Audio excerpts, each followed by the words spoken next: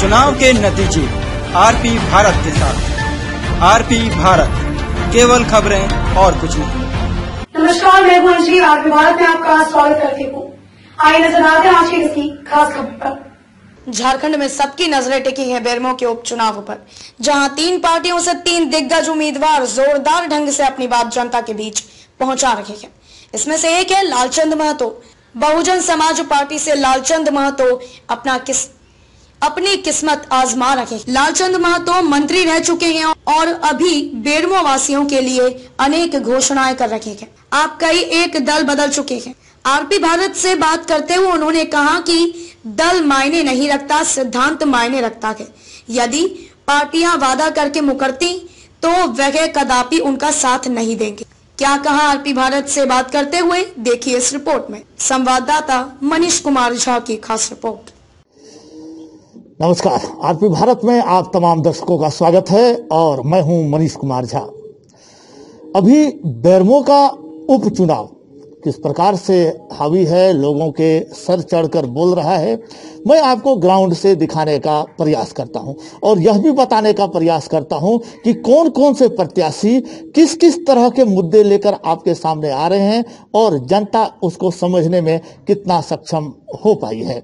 अभी हमारे साथ, चूँकि डुंगरी विधानसभा से ये जीते भी हैं, वहाँ से मंत्री भी रहे हैं, इस बार पहली बार ये यहाँ से चुनाव लड़ने जा रहे हैं। तो हम उनसे जानने का प्रयास करेंगे कि आखिर वहाँ की जनता को जो फैसिलिटी उपलब्ध करा पाए थे, यहाँ क्या विजन है? और आखिर यहाँ से ये फिर से खड़ा हुए, जो इनका कार्यक्षेत्र नहीं रहा था तो आखिर इसके पीछे रीजन क्या है? और जनता को कैसे समझा पाएँगे कि जनता इन्हें ही चुने? सर स्वागत है आपका। सबसे पहले तो शुभकामनाएँ आपको आपके आने वाले इलेक्शन के लिए। तो सर आप बताना चाहेंगे कि आप पहली बार यहाँ से आ रहे हैं लोगों को कैसे समझा पाएँगे कि यू आर द बेस्ट देखिए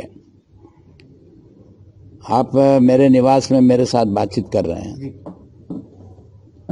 मैं बेरमो का मूल वासी हूँ। मैं बेरमो का स्थानीय निवासी हूँ। और भले मैं डुमरी से विधायक रहा हूँ, मंत्री रहा हूँ, लेकिन कार्यक्षेत्र के अंदर में बेरमो भी मेरा कार्यक्षेत्र रहा है। मैं बेरमो के समस्याओं को लेकर के लगातार अपने जीवन काल में लड़ता रहा हूँ, मजदूरों को लेकर के आंदोलन करता रहा हूँ यहाँ दो थर्मल पावर स्टेशन है, बहुत बड़े बड़े डीबीसी का, बोकारो थर्मल है, चंद्रपुरा थर्मल है। सारे थर्मल पावर स्टेशन में स्थानीय मजदूरों के मांग को लेकर के मैं घेराव करता रहा हूँ।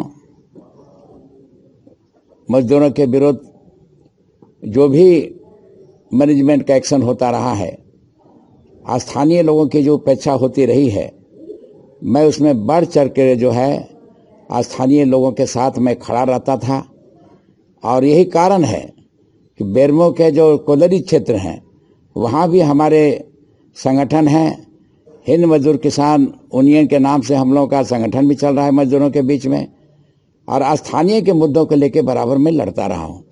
जैसे आपका यहाँ जो विस्थापित बहुत बड़ी समस्या है।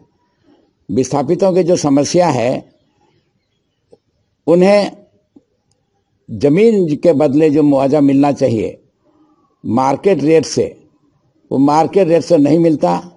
साग सब्ज़ी के भाव से जो है ज़मीन का रेट जो है निर्धारित किया जा रहा है, किया गया है, जिसका मैं लगातार विरोध कर रहा हूँ।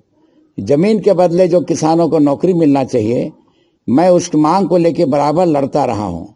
ज़मीन के जो पुनर्वास की जो बात होती है, पुनर्वास के लिए जो है कोई भी संगठन जो है, कोई भी नेता जो है उठाते नहीं रहे क्योंकि मैं भी यहाँ का विस्थापित हूँ। आप देख रहे हैं हमारे घर के चारों तरफ़ जो है, कोदरी जो कॉलोनी वगैरह बसे हुए हैं।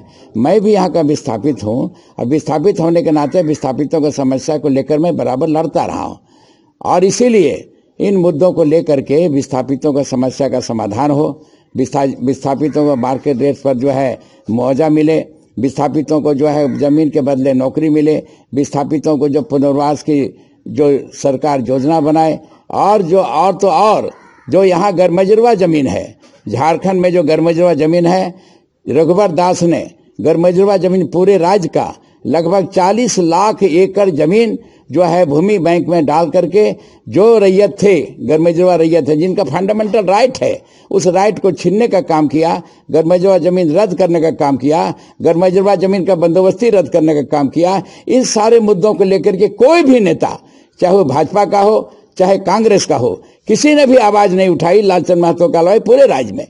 दूसरी बात जो है, झारखंड में पचपन परसेंट जो है पिछड़े हैं पचपन प्रतिशत यहाँ झारखंड में पिछड़े हैं और पिछड़ों को जो है यहाँ कम से कम जो है पचास परसेंट आरक्षण मिलना चाहिए। इस सवाल को लेकर भी कोई भी राजनीतिक दल रघुवर दास के समय में मैंने बहुत प्रयास किया कि वो रघुवर दास, तुम पिछड़े हो, तुम पिछड़ों का आरक्षण जो सत्ताईस से घटा करके चौदह परसेंट कर दिया गया है, उसको जब बढ़ाया जाए, लेकिन रघुवर दास ने इस पर कोई नोटिस नहीं लिया। इसलिए भारतीय जनता पार्टी जो है पिछड़ा विरोधी है। दलित विरोधी है, मजदूर विरोधी है, और इन सवालों को लेकर के इन लोगों में कोई यहाँ इस, ये लोग इस स्थिति में नहीं है कि लोग विरोध करें। यहाँ पचास साल कांग्रेस जीतता रहा है बेरमो से। तीस साल यहाँ बाबू राजेंद्र बाबू रहे हैं। और बिंदेशी दुबे कांग्रेस के जीते हैं। पचास साल यहाँ कांग्रेस जीता है। पच्चीस साल यहाँ बीजेपी जीता है। तो पच्चीस साल बीजेपी जीता है, दस साल बाटुल जी जीते हैं। दस साल में इन्होंने क्या किया? दस साल में कहीं भी ग्रामीण क्षेत्र में सिंचाई की योजना नहीं बनी। दस साल में यहाँ ये लोग चाहते यहाँ तो फैक्ट्री बैठ सकता था। सरकार पर दबाव बनाते, जो कुटीर उद्योग लग सकता था। क्यों? यहाँ कोयला है, बिजली है, पानी है और बोकारो स्टील का लोहा है और यही इन सामग्री को मेन सामग्री जो ज़रूरत है किसी भी फैक्ट्री को बैठाने के लिए, लेकिन इन लोगों ने कोई पहल नहीं की। न यहाँ का पार्लियामेंट ने कभी पार्लियामेंट में न यहाँ का कोई एमपी उठाया, न विधानसभा में कभी बाबू राजेंद्र सिंह जी उठाए। इन सारे सवालों को लेकर के यहाँ जो बेरोजगारों को जो अंबार खड़ा है, मैं प्रयास करूँगा पाँच साल, चार साल जो भी मौका मिलेगा कि झारखंड में, झारखंड की धरती में खास करके बेरमो में जगह जगह है छोटा छोटा जो है, कुटीर उद्योग लगे, मैं सरकार सरकार पर यह दबाव बनाने का काम करूँगा। पार्टी से लेना देना नहीं है। पार्टी अगर सिद्धांत पे नहीं चलती है तो वो बदला जा सकता है। मेरे सामने पार्टी का कोई कीमत नहीं है। पार्टी की कीमत सिद्धांत सिद्धांत के लिए बनता है और जनता के लिए बनता है। और जनता के लिए काम कर नहीं नहीं कर रही है तो उस पार्टी में हम क्यों रहेंगे भाई? हम जनता के साथ खड़ा रहेंगे कि पार्टी के साथ खड़ा रहेंगे? ये मेरा मुद्दा है। जी सर बहुत बहुत धन्यवाद आपका। ये थे लालचंद महतो जी जो बता रहे थे कि पार्टियों से बड़ी है मुद्दा। यानी जनता के सामने जब ये जाते हैं तो ये लेके जाते हैं कि हम आपके लिए यदि सरकार कोई हो उसमें भले ही ये शामिल हो लेकिन यदि इनकी बात नहीं मानी जाती हो, अर्थात यदि वह जन विरोधी हो और जन की बात ना सुनी जा रही हो तो पार्टियाँ बदली भी जा सकती हैं। जो स्थानीय मुद्दा इन्होंने दिया, कि बेरोजगारी बढ़ी है, यहाँ स्वास्थ्य व्यवस्था चरमराई है, शिक्षा व्यवस्था चरमराई है, यदि ये जीत के आते हैं तो भले ही सरकार किसी की हो, यदि कोई भी सरकार इनके सिद्धांतों पर चलती है और जनता के लिए काम करती है तो ये इन्हें सपोर्ट करेंगे और जन कल्याण के लिए काम करेंगे। अब 10 तारीख को ही पता चलेगा कि ये अपनी बात जनता को कितना समझा पाए और जनता कितना समझकर इन्हें मतदान कर पाई है। मनीष कुमार झा, बैरमो, आरपी भारत। चलिए, धन्यवाद।